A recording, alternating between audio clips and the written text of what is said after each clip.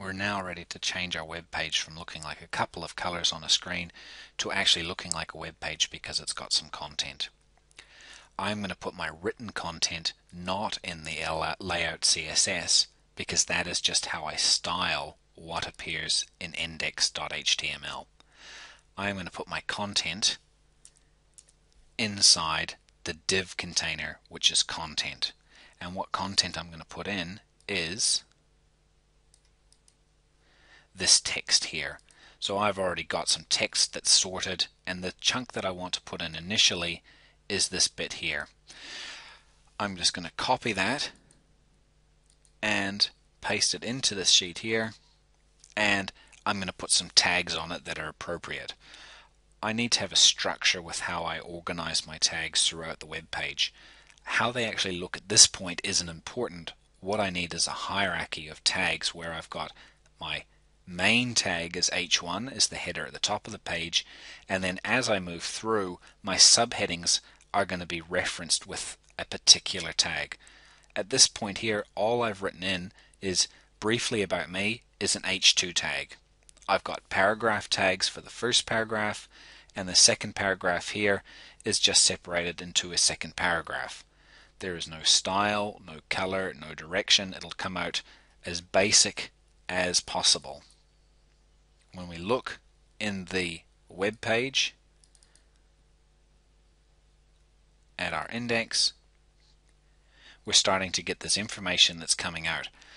This doesn't look very good at the moment, and I know it doesn't look very good at the moment, but that doesn't matter. What's important is for us to get our structure set up, and then later on, we'll go through and try stylizing it, and we'll only stylize it through the layout.css. Okay, so you can see that the next things that we're going to need to do in here is we're need, going to need to have an h1 tag that tells this bit up here how to look and we're going to need an h2 tag that tells this bit how to look and if we want to we can even have paragraph tags that tell the paragraphs how to set up. Okay, I want to now keep putting content into my page.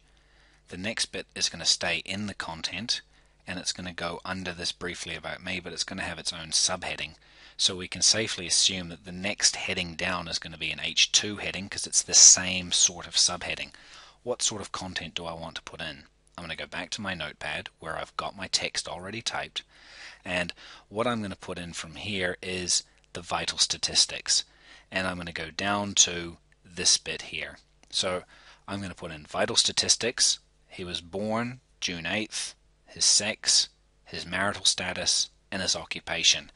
That sounds like a list. So when I put this into the web page, I want to make it look like a list.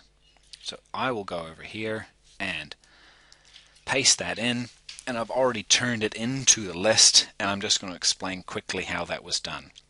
I said before that vital statistics would be a subheading, the same subheading as above, so it's going to have the same heading tags.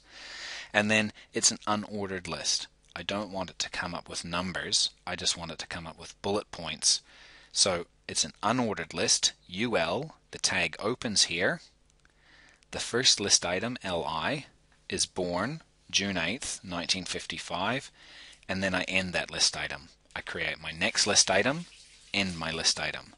Next list item, end the list item. Next list item, end the list item and then I'm ending that unordered list. Let's save that.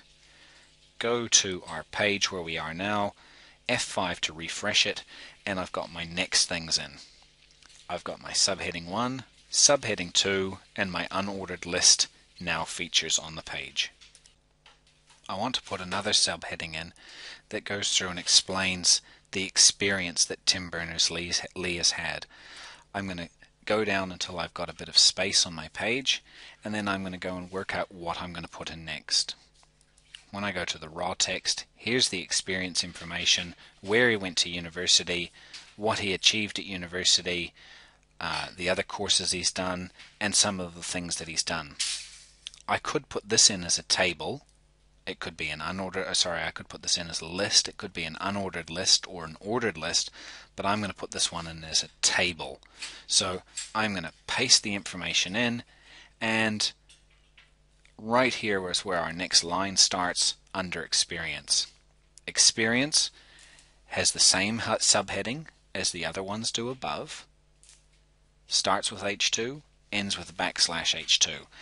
I want to put this information into a table, so I create a table tag. As soon as I put a table tag in, I need to specify the rows that I want in. I'm going to put the table row so that I can explain what the table rows are. I've got to put in the table heights that are going to go into each one. So this is not table height, sorry, the table headings. So TH is the table headings.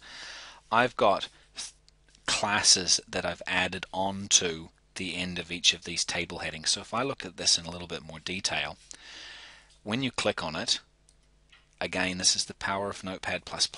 When I click on this area here, it highlights this tag only. And what it says is the table heading is going to be year at college. It's going to say year and then it ends the table heading. So all that's going to appear in my table is the word year, but I have said I want you to call this heading year call. So I've said in the table create a class so that I can say how this year is going to appear on the actual finished website. It looks quite confusing. Hopefully it won't be too bad. The table heading is year and that's the end of it. This table heading will show up as institution and end. This table heading will show up as qualifications and end. The only difference between these three things is I've separated them so I can style them individually later on. I've said this year column is going to be known by the class year call this institution column is going to be named instacall as its class name and this heading is going to be called qual call for the qualifications heading. As soon as I do that, I can finish that first table row. So the first table row is finished. I'm going to go down to my second table row and I'm going to put the table data in. 1972, end that data. The next one is Emanuel School in Wandsworth, end that data. The next data is O levels and A levels, end that. End the table row. Create a new table row. Put the data in, Queen's College Oxford Physics, end the data row, table row. Create a new table row, 1980 CERN built the ENQUIRE system, end that row. Another table row, data goes in, end the table row. Another table row, the data each data starts and finishes with the open brackets and then the open brackets black backslash end bracket. At the end, I want to end that table row and then I need to make sure I end the whole table. And if I move up towards the top, I should see the corresponding spot where I opened the table and there it is there. So in that huge chunk, which looks like a lot of work, it's not really. All I've done is I've put a table in I've put headings for my table. I've separated them so I can style them individually. And then I've put new rows in, and in each row, I've filled information into the row. Let's save that and see what this actually looks like on our page.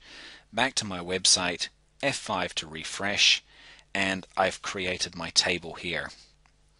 The year column, the institution column, and the qualifications column. It looks pretty awful at the moment, and that will be resolved in our style sheet later on. Instead of me spending a long time adding some information in, trying to change it to get it to fit, I've put all the information in.